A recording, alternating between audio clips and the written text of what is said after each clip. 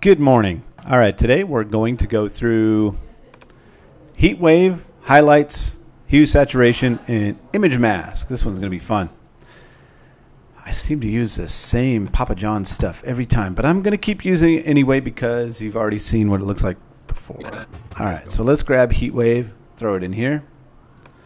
And basically this is just a look that makes everything look orange and blown out. And here's a amount slider so you can adjust how much is blown out.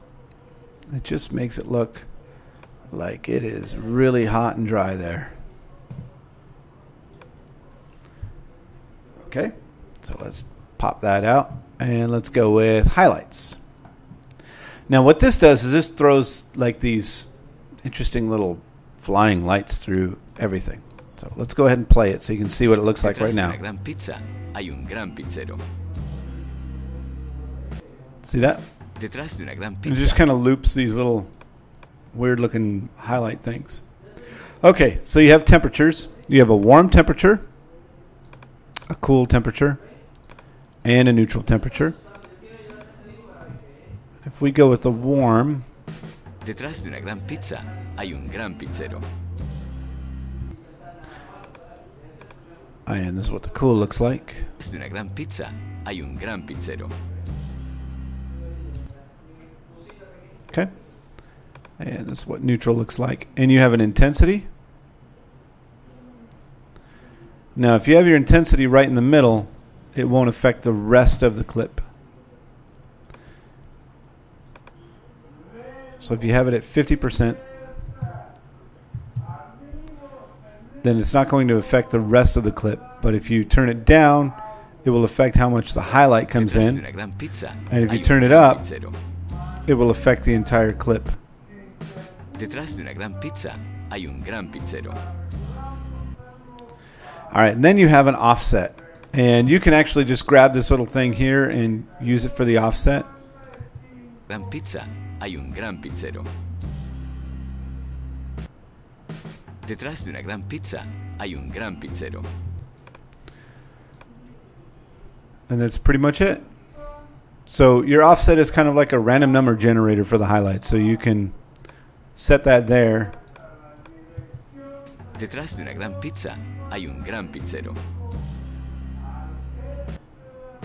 Det- So there you go. It's kind of like a caustic type of interesting little effect. All right, hue saturation. This is pretty typical, same as a hue saturation filter that would be in Photoshop. You have an amount, you have the hue,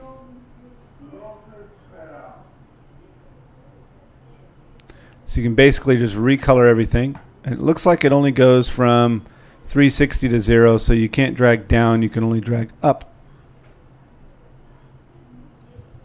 De una gran pizza hay un gran pizzero. Friend, what you want, you can check it. Well, then I finish. Okay. Okay. Yeah, let me finish I this and then go over there. Check it. I going to to lunch or something. I'm very hungry. Yeah, go for it. Later we you can see. and- Yeah, as soon as you're back from lunch, then we'll go through and, and um, do the rest of it Okay. and caption the show. Okay. It'll be fun. You'll enjoy it. Sure. Always. All right. Thanks. Okay, and then you have your saturation, which obviously makes it really saturated or not. So you can turn something black and white with that if you want to. And changing the hue, if you turned it black and white, changing the hue won't affect anything.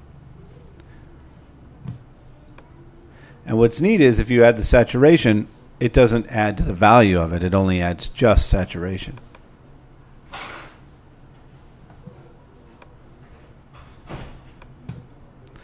And then value is your brightness.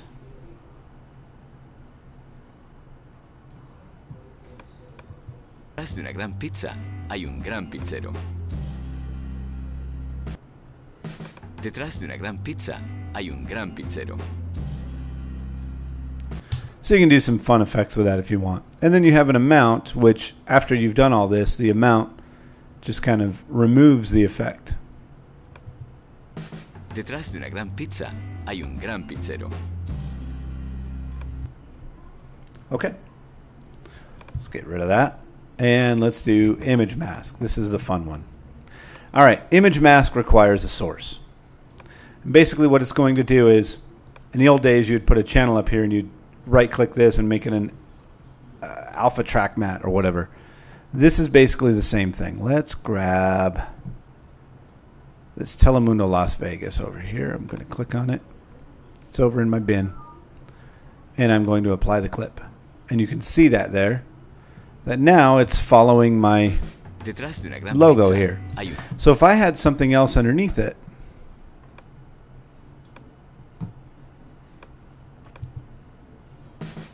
you would see the Papa John's commercial inside the. T. All right, let's mess with it a little bit. You can use the different channels as your image mask. If you see if I use red, you get kind of a transparency to it. Green, I don't have any green channels in there. Blue, I don't have any blue in there. And then alpha gives you just the outline because that's what the alpha channel is.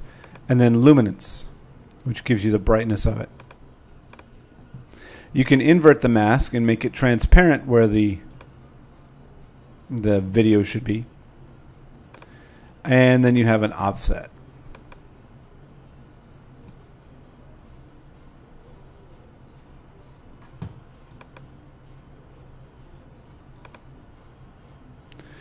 Now, the only thing that I don't see, which I think would be great, is a scale because right now this looks pretty good, but I'd like it to be smaller. I want to scale this down, and I can't do that. So let's throw a different one in there.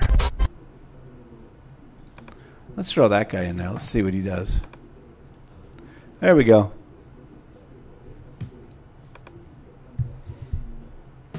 Detrás de una gran pizza hay un gran pizzero. Now you can do this with anything. I'm doing it with the logos because that's what I have right now. But if you wanted to do it with like a, a weird, funky diamond shape or some kind of crazy, I don't know, doorway to have video in there. Let's say you had something over here, two kids talking, and then there's a doorway, and you want your own video, something completely different, and you have this funky doorway like that. You would be able to create that shape, use that as your image mask, and put the video in there. That's how you would do it. Okay? So basically, it just cuts out whatever video it's applied to. All right, so that was those four effects. Sorry, I was over on my generators. I need to scroll down now.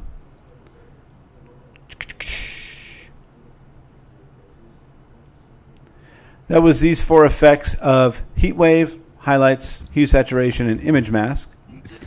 And the next one we will do is infrared, insect eye, intro flashes, and isolate. I'm going to skip this one because this is one that I created. All right. Thank you very much for watching.